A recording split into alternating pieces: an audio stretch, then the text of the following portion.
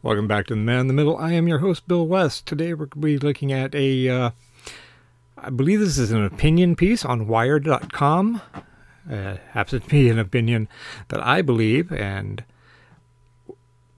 we all know that the uh, the driving force of my channel is what I think is cool, whether it be news or swag or whatever.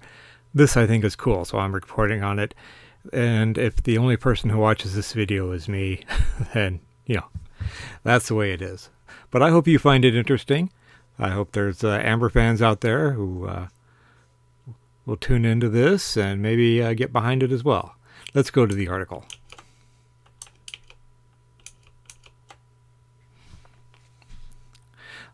The world needs a Chronicles of Amber show.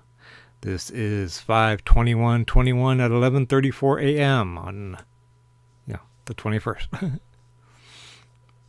this is by Buddy Mays and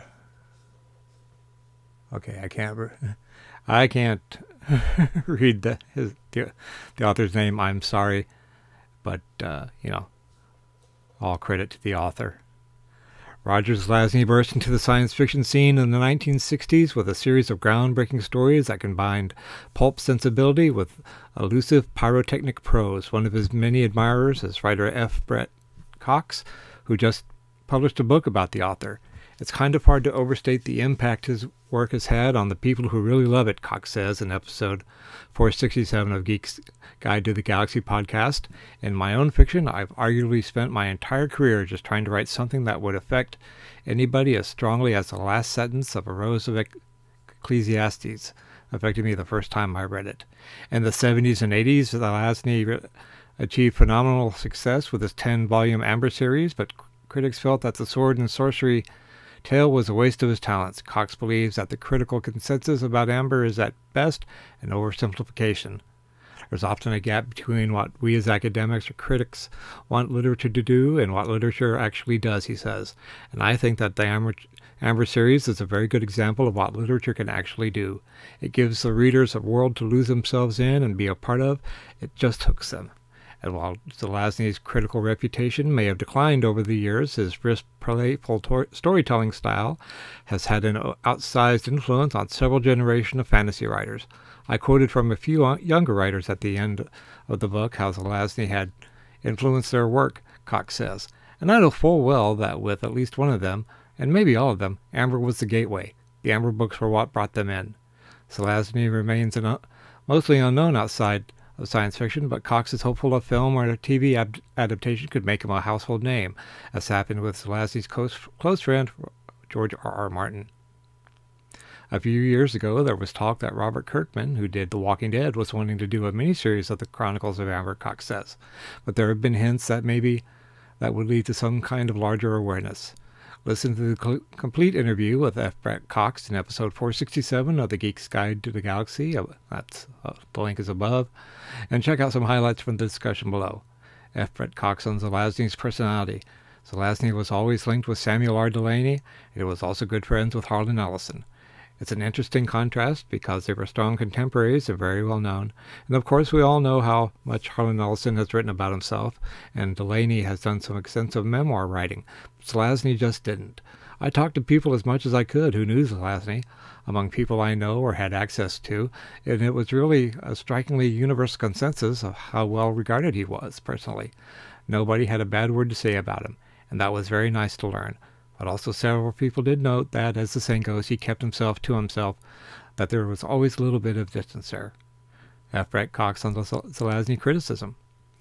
In terms of monograph studies of Zelazny, there was an early one from Carl Yoke, who was a longtime academic in science fiction studies, and also a close friend of Zelazny. They grew up together in Ohio. And then there was Krulik's book, and then there was Lynn Skold's book.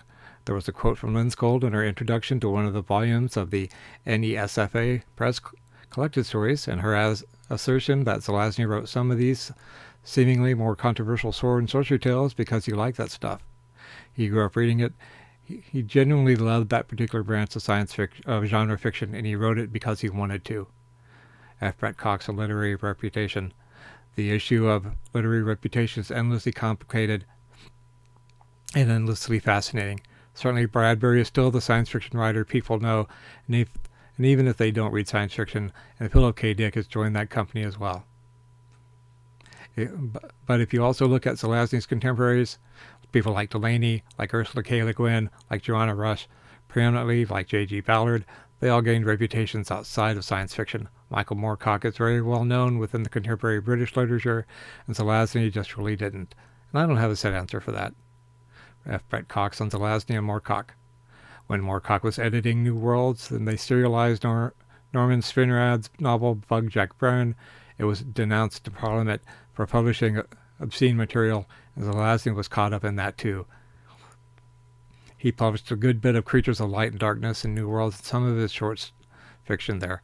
A very interesting moment in the correspondence I read at the libraries between Zelazny and Moorcock was where Moorcock was just saying, Give me more, write something. It's stunning how highly the other writers of his day regarded his work, how the other writers in the 1960s were absolutely astonished at what he was doing.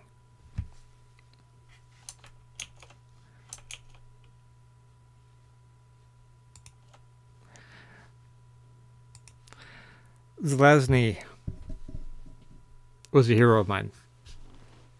I've uh, I think it was my sophomore year in high school that I found, or that I was introduced to the world of uh, Amber and such. This way, by my uncle. Uh, he gave me a uh, copy of Nine Princes in Amber and The Guns of Avalon, and I tore through them within a day. It was magic, absolute magic and it took me a couple of uh, months to finish up the, the trilogy or the series. The quint, quintet, quintet, uh, five books. Uh, the first five books of the Chronicles of Amber are absolutely uh, great.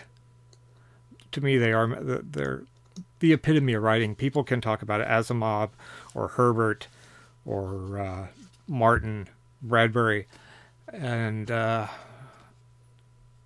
as great as they are, and absolutely wonderful. I love Amber. I mean, I love all those other authors, and you know, and the authors that I've came through since but nothing has affected me the way Zelazny's Amber has.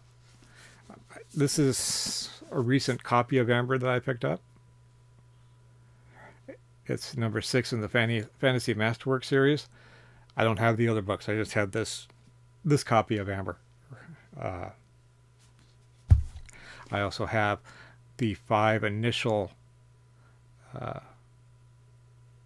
copies of Amber, the first printings, I have uh, a couple of uh, book club editions of the heart the two two volume set. Uh, Amber means everything to me. and I think it'd be a great thing if we were able to get a uh, Amber TV series or an Amber movie but I believe his estate is is really holding tight on that, and I understand why. There was a couple of uh, books that came out not too long after Zelazny's death. They weren't great books. but uh, my one regret is that I, I never was able to meet him at a con. And but uh, you know, this is, this is getting a little bit more maudlin. But tell me what you think. Would it be a great thing? Would it be a good thing for uh, you know an Amber TV series? If you think so, you know, give me that thumbs up. Leave a comment down below. Uh, subscribe to the channel if you're not subscribed already. If you're not, why not? It's free. It doesn't cost you anything except for you know listen to me a couple of times a week.